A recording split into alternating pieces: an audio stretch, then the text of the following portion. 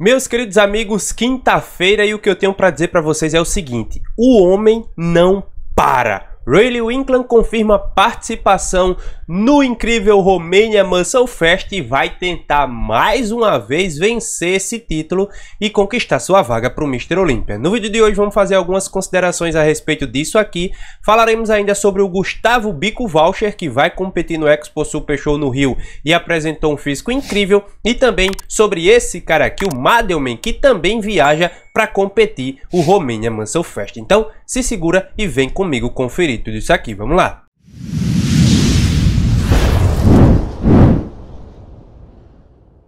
Rapaziada, e pega essa novidade aqui, ó. Para vocês que tanto cobram, dia 15, segunda-feira, às 21 horas, ao vivo aqui no YouTube, eu vou ter o prazer de receber mais uma vez no meu podcast, o Golden Cast, o coach Elmo de Lemburgo, rapaziada. Vocês pediram, pediram, pediram e vamos bater um papo sobre Mr. Olímpia, sobre o resultado do Ramon, sobre o seu atleta Thiago Ávila, que tá aí batendo na trave em busca do Pro, é um excelente atleta. Então, o coach Elmo vai poder conversar comigo, conversar com vocês e, claro, tirar todas as suas dúvidas. Se você já tiver dúvida, segura que segunda-feira, às 21 horas aqui no canal, eu aguardo todos vocês, beleza, pessoal? Então, bora começar aqui falando sobre o Rayleigh Winkland, cara. O Rayleigh Winkland confirmou participação no Romania Muscle Fest. Para sua surpresa, para minha surpresa, o Rayleigh vai competir mais uma vez. Eu confesso para vocês que uh, não entendi, cara. Eu realmente não entendi. Tá aqui, ó, número 26, Rayleigh Winkland, representante de Curaçao.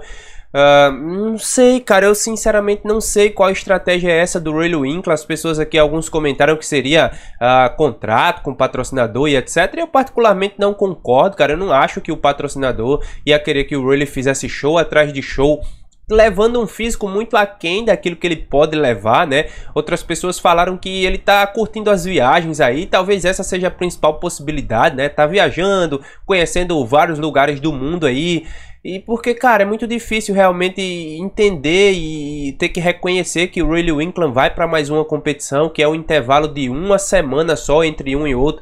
Prague Pro foi semana passada, ah, o Romênia vai ser esse fim de semana, né? E não sei, cara, eu não acho que o físico do Rayleigh vai melhorar tanto ao ponto dele conseguir vencer nesse show, né? Sem contar que esse show a gente tem alguns bons atletas, como é o caso aqui do Samson Dado do Rafael Brandão, que tem levado ótimas condições para o palco. Então, se esses dois caras chegam na pele mais uma vez e o Rayleigh não chega, muito dificilmente o Rayleigh vai conseguir fazer um top 2, assim como foi no Prague Pro, né, pessoal? Então, uh, eu escrevi bastante aqui, eu vou deixar o link do meu Instagram aqui embaixo, dá uma conferida lá, inclusive se você não me segue, segue lá, cara, porque eu realmente descrevi o que eu sinto, né? Eu acho que essa vai ser a sétima, a sétima competição do Rayleigh Winkler no ano de 2021 e o cara simplesmente não venceu nenhum show, cara nem um show venceu esse ano e a maioria dos shows foi só fiasco, cara. Foi só fiasco, inclusive o Mr. Olympia ficando com a 11 primeira posição. Então, realmente eu não entendo. Eu queria ver a teoria de vocês aí. O que é que vocês acham? Por que o Rayleigh Winkland tá fazendo isso? Será que é realmente alguma coisa a ver com o patrocinador? Será que ele realmente tá querendo conhecer o mundo para depois voltar para casa? Fala para mim aqui nos comentários o que é que tu acha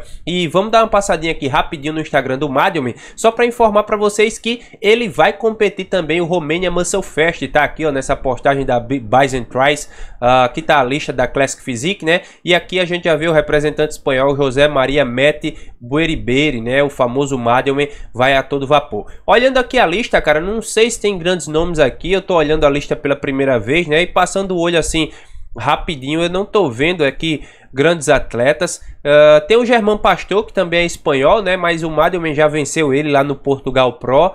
E eu não vejo outros nomes tão fortes aqui, cara. Não acho que vai ter alguém que possa, sei lá, talvez vencer o Madden. Claro, de repente aparece alguém aqui, né, com um físico excepcional. É, tem nomes estranhos, né, uma diversidade de atletas de vários lugares do mundo. Então, Possa ser que apareça alguém aí e surpreenda e tire esse título do Madden. Nós teremos um representante, né, que é o Vitor Bortoleto aqui, mas não dá para apostar no Vitor porque a gente não viu ele competir. Eu particularmente nunca vi ele competir, né? Então vou torcer muito para que ele consiga atingir esse feito, vencer o Madman se possível for.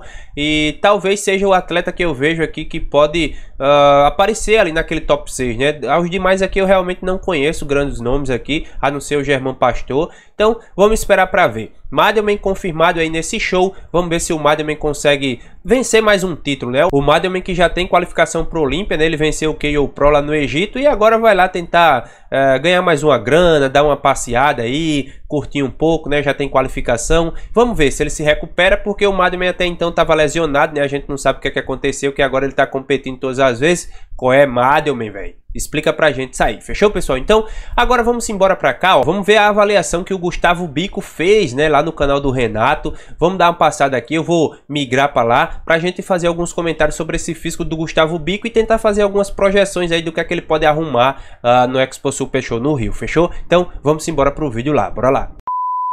Ok pessoal, estamos aqui na avaliação do bico, eu vou adiantar um pouco o vídeo aqui, colocar a velocidade um pouco maior, certo? Para que a gente possa ver, ó, quando a gente olha o físico de frente do bico, a gente já vê que é um físico bem estético, né, com pernas muito poderosas. E o detalhe muito importante para falar para vocês aqui desse físico é que o Júlio cantou um pouco de como tá a dieta desse cara, e esse cara tem simplesmente 30 gramas de aveia como fonte de carboidrato no dia e só, rapaziada. Esse físico aqui é um físico praticamente zero carbo, com refeições feitas somente de proteína, vegetais e 30 gramas de aveia na primeira refeição. E como a gente consegue reparar, o físico tá full, né, cara? Tá muito cheio. Eu fico imaginando como é que esse maluco vai estar tá quando ele fizer a manobra de carb up, velho. Porque se sem carbo o cara tá desse jeito, se liga essas pernas, se liga esse peitoral, esses braços, vascularização, tá muito impressionante aí. Sem carboidrato, eu fico imaginando como deve ser esse físico lotado de carbo. Aqui um duplo bíceps de frente bem animador, né? Bem bonito também. Ele vai competir na categoria até 102 quilos, então fica a dúvida. Caso vire pro, onde é que ele vai competir? Será que regride aí para 96 quilos e 200 e vai para 212?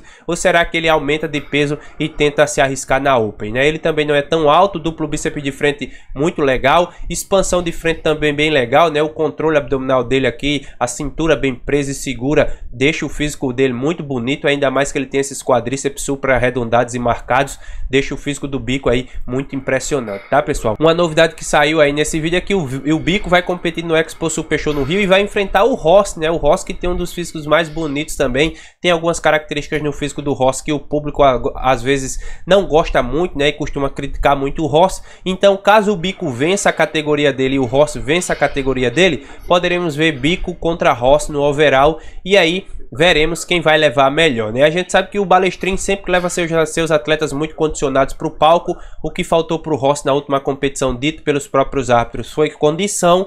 E muito provavelmente o Ross vai ter que martelar muito nessa condição física, porque muito provavelmente o Júlio vai levar o bico na pele. Ó, femoral já está marcando aqui, ó, a costa já está ficando emblocada. Então, conforme for fazendo as manobras de água e sal, o bico vai ficar excepcional, certo, galera? Eu confesso para vocês que eu tenho dificuldade em fazer uma aposta de agora. Vou esperar para vê-los no palco lado a lado. Expansão dorsal de respeito aqui do Bico. O Bico é um cara que eu admiro e acompanho de muito tempo. Já fizemos live, já fizemos muita coisa juntos, inclusive previsões para o Arnold Classic, se eu não me engane. E é um cara que eu gosto, é um físico que eu acho muito fera. Vou torcer bastante aí para um bom resultado dos dois, para que a gente possa vê-los lado a lado, né? Seria interessante demais ver o Bico lado a lado com o Ross, mas claro, tem aquela questão, precisa vencer primeiro a sua própria categoria. Se bater na trave na categoria, filho, não tem overall, então não tem confronto. Vejam o condicionamento dos oblíquos aqui, a perna do bico muito impressionante. E é isso aí, pessoal. Vamos ver o que é que esses dois vão arrumar. O bico tem um físico fenomenal, eu acredito que ele pode dar um trabalho muito grande nesse Expo Super Show no Rio, mas é aquela coisa, né? O Brasil tá num patamar de que do nada aparece um maluco grande, seco, denso, empedrado, com papel de. com pele de papel alumínio. Impressionante demais. Então tem que levar em consideração isso, porque de repente aparece um maluco lá e acaba destronando o bico, destronando o Ross, destronando todo mundo que lá estiver, fechou? Então é mais ou menos isso aí pro vídeo de agora. Deixem seus comentários sobre tudo que foi falado e até o próximo vídeo. Valeu!